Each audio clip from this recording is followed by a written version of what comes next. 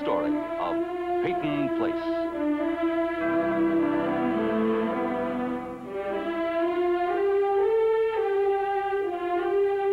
Starring Dorothy Malone as Constance Mackenzie.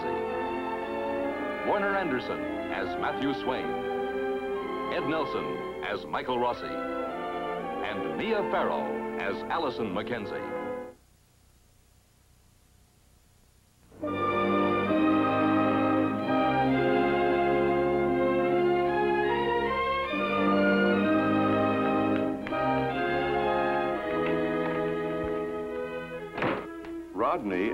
Harrington dined out tonight for the first time since their marriage with Betty's parents. Betty? Everyone was tense and uncomfortable. The evening ended abruptly with Betty close to tears. What are you doing? I don't like this room. Fine, but what are you doing to it? I'm rearranging the furniture. At this hour? I want to. Okay, okay, so you had a run-in with your father. Does that mean you have to go in the furniture moving business? Would you please just let me alone? Hold it, hold it. Okay, I'll do it. Where do you want it? Over there. The bed's over there. Well, move the bed. Move the bed. Do you have any idea what time it is?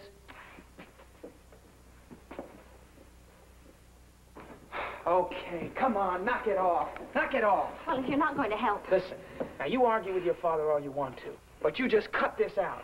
why do you care? Didn't you say it was late? It's bad for the kid. You'll manage. Well, I won't. You've done it before. That was before. Listen, women have miscarriages this way. Oh, please get out of my way. I'm talking to you. You don't have to worry about the baby. Oh, sure, You're made a steal. You're gonna swim the Atlantic Ocean in your seventh month. Oh, Rod. Hey, you've got to take care of yourself. I, I can't let you do anything foolish Why? because it's my responsibility, that's why. Because, well, if anything should happen. Did you know in the middle of class or sometimes driving home or in the morning when I wake up before you, I think about the baby? Because it's your responsibility. Yes. Responsibility. Yes. Couldn't use another word. I said what I felt. You feel uh, responsible? Yes. Nothing more.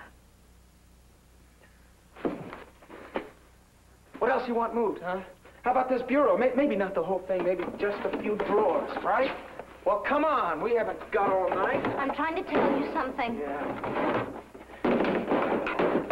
And these pictures, these crummy pictures, you never liked them either, did you? Okay, then go!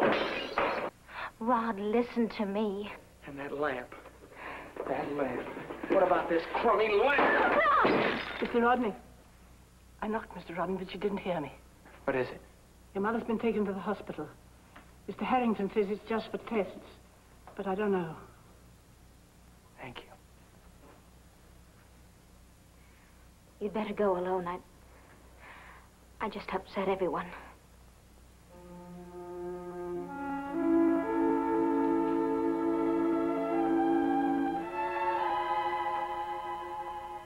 I knocked, Mr. Rodney. But you didn't hear me.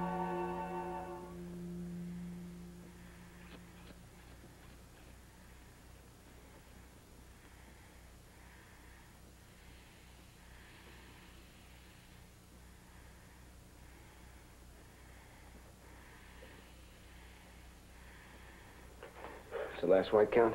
21,000. I want a glucose intravenously. Tell him in OR I want both blood and plasma setups. She's AB. Yes, doctor. Is she going to surgery? Now, nurse, please.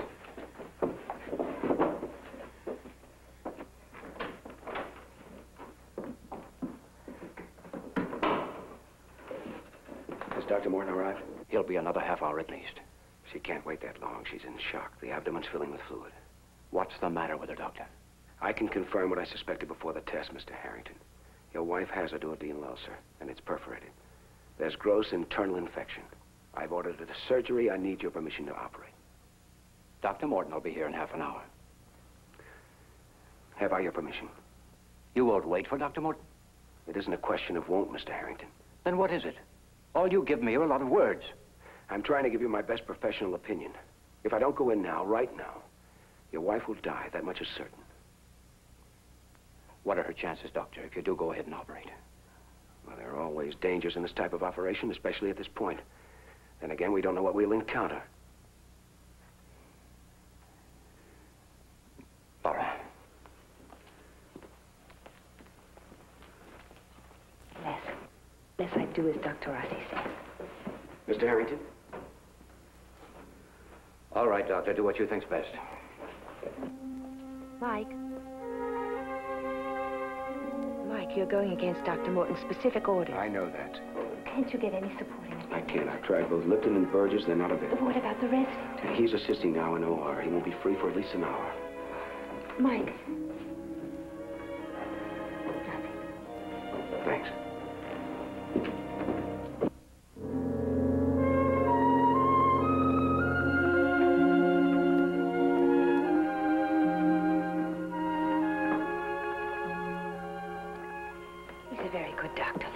You've said that before.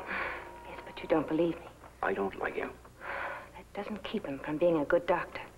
He gets out of line. Who set the line, Les? I don't see why you're defending him. As a doctor, No, not as a doctor. I'll get us some coffee. I'll put Rank in the kitchen.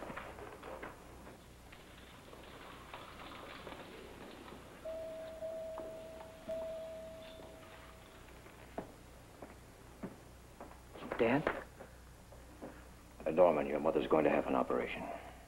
right now? She's going to be all right.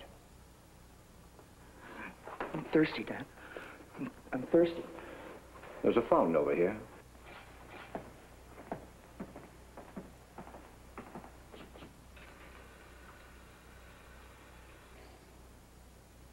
You're shaking. You're icy cold, son. Why does it take something like this? Why does it take something like this for us to quit being strangers? You were never a stranger to me, Norman. Never.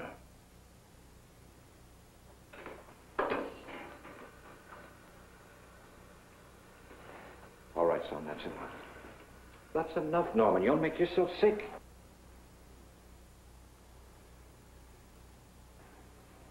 Come over here and sit down.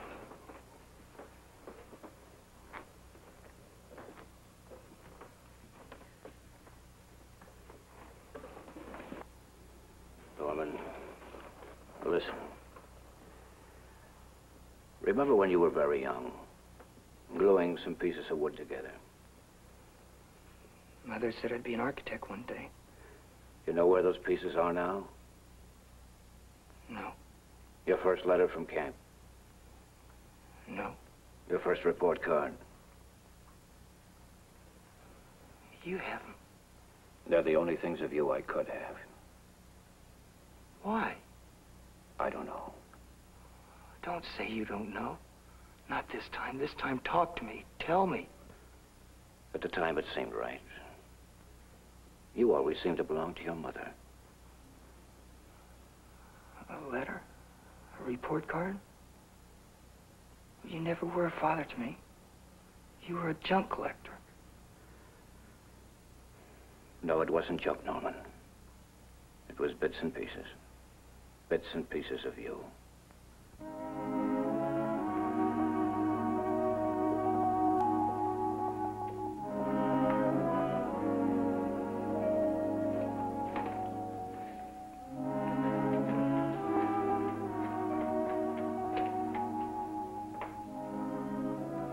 Hello? I'd like a taxi, please. Yes, right away to the Harrington house. Yes. Do you happen to know when the next bus for Boston stops at the square? No, don't ring. Uh, I'll be waiting out in front.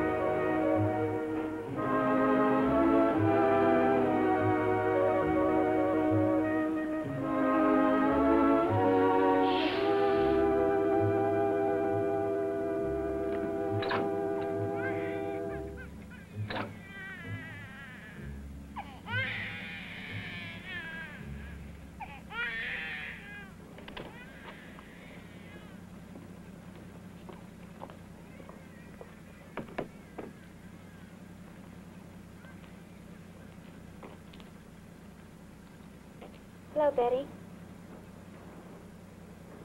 Hello, Allison. I was just taking a walk. It's a suitcase. The one you had when you came back from White River. I'm not going to White River. You can't fit very much in one suitcase like that, can you? I won't need much. Are you sure? Are you worried? I should just leave you alone. Yes, you should.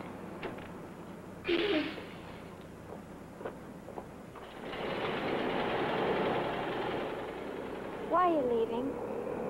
Go away, Allison. Is it because of his mother? Why should it make any difference to you?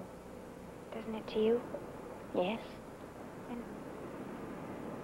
Don't have to explain to you. No. No, I guess not. Only... Only what? Only I'm worried. About me? Yes. Does that sound foolish? No. I'm worried, too. Wish I knew where you were going. The bus goes to Boston. And after that... Betty? Will you write a story about me, Allison? I don't know the story. Well, make it up. Make up a good one. Make it about two girls. Two girls. One played the game to get the boy, and the other... What did you do, Allison? I didn't play the game. You couldn't. I'm not so sure.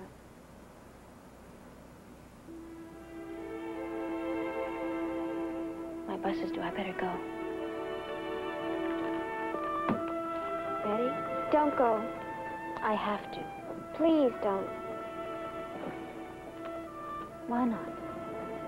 What does it mean to you? I don't know. I'll be all right. I'll be better off. How do you know? Because I know what it's like here. What it's going to be like if I stay. Why am I talking to you? I guess you need to talk to somebody. And you just happened along, taking your walk. Allison Mackenzie taking her lonely walk. Yes, Allison Mackenzie taking her lonely walk. Telling Betty Anderson, Betty Harrington, to stay in Peyton Place. Why? I, don't want you to go. Why? Don't keep asking me why. You haven't got an answer. No, I don't have a nice, simple answer. All right, I'm sorry I tried to interfere. Do what you want to do. Goodbye, Allison. Goodbye.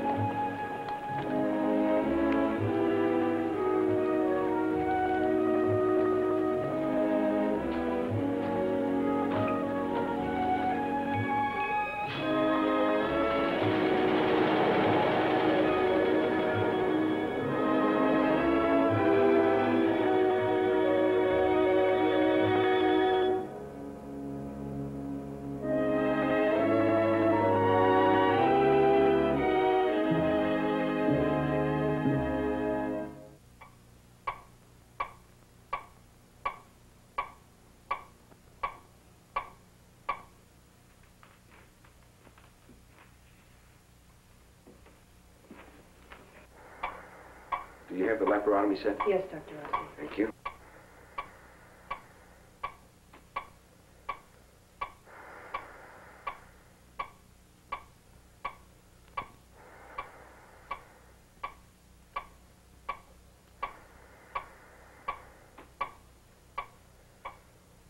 Go on with your review, Doctor. Patient pre-medicated prior to entering OR. Sodium pentothal administered through intravenous drip. Response? State of highly agitated shock persists.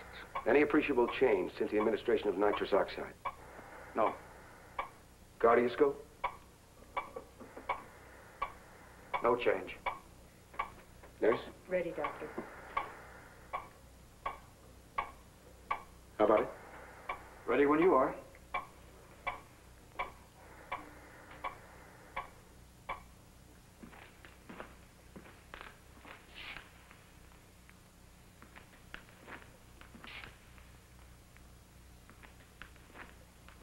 Bob, What's going on? she's in surgery.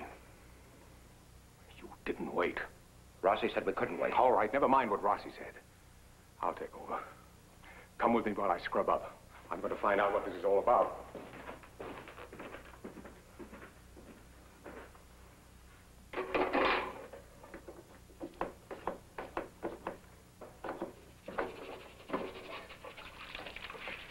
Bobby said it was serious. And you believed him? What else could I do? Indeed. Well, what are you going to do? What do you think I'm going to do?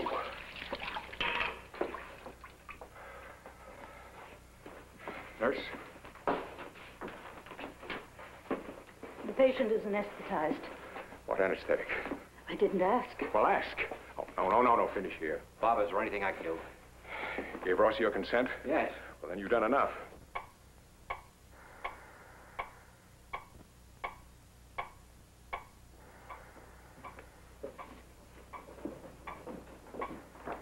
What are you doing? I told you my suspicions over the phone. Suspicions. Confirmed by tests. Duodenal ulcer. Duodenal. Perforated duodenal. Nurse, gloves.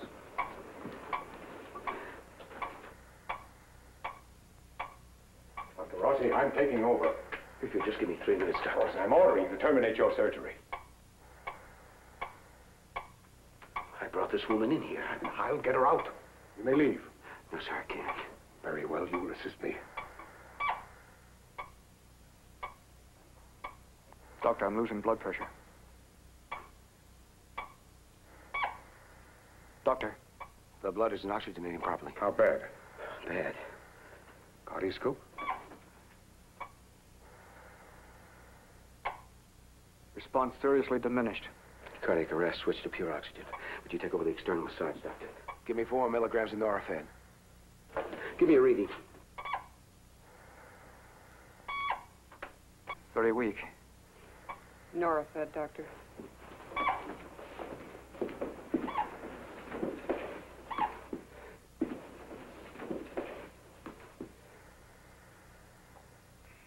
Better get me one to 1,000 adrenaline, 10 cc's. Doctor, I can't get any blood pressure at all. Keep trying. You may need more oxygen. I have a full tank, Doctor. Adrenaline, Doctor. Joe. Careful.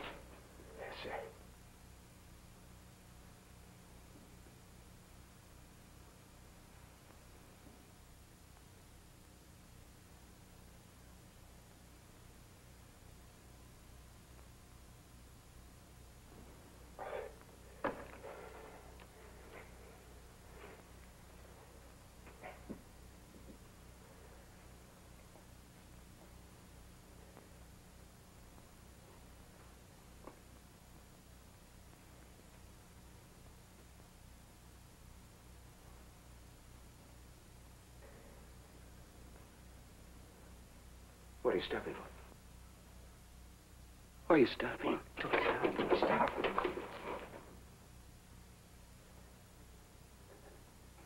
Dr. Rossi. No, wait.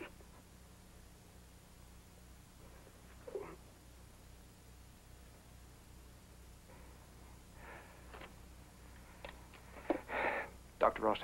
Wait, wait.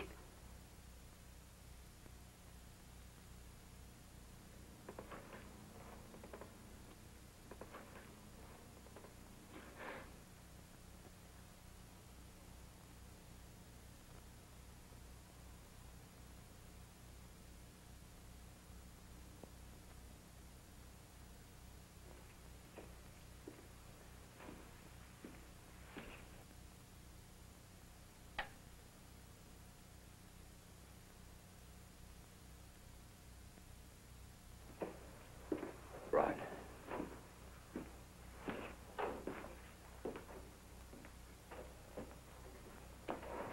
I'm sorry. What? I'm sorry. Just like that? How? Wasn't there anything you could do? I arrived too late. I should have made him wait. Go home now, Leslie. I should have made him wait. Yes, you should have. Go home, Leslie.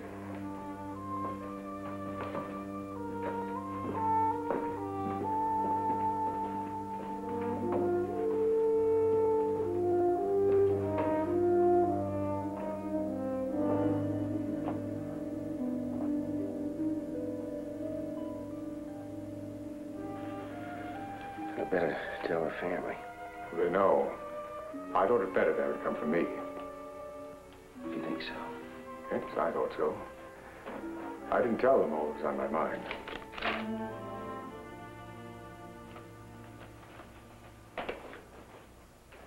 All right, Doctor, tell me. You willfully and deliberately countermanded my instructions. Why didn't you wait? I couldn't. She would have died.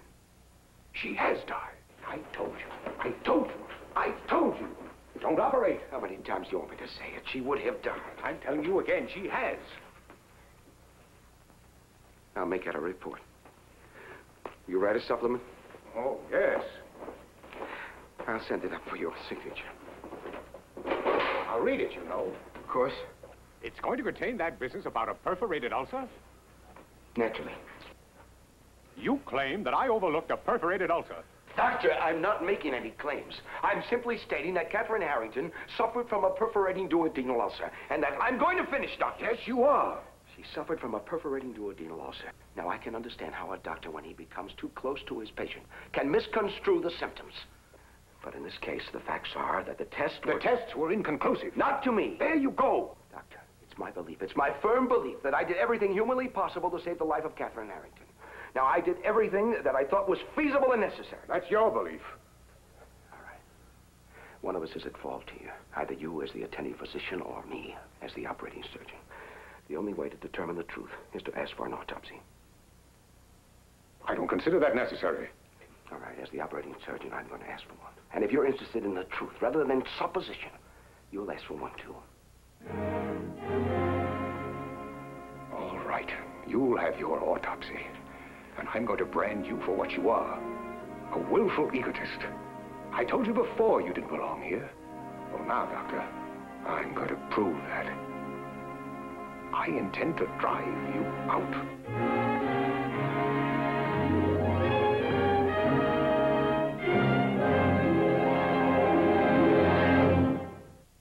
Preview from the continuing story of Peyton Place.